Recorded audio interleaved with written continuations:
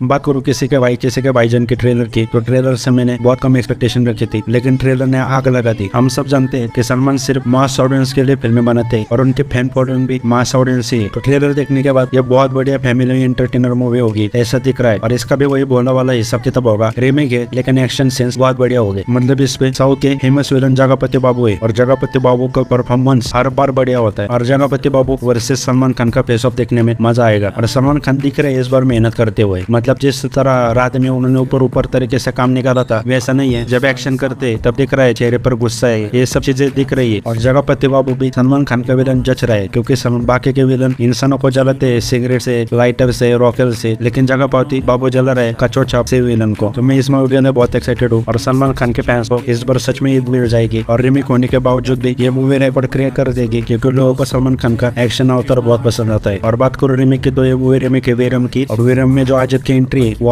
के करियर की one of the best entry मानी जाती है। तो देखते हैं कि सलमान भाई की एंट्री कैसे होती है।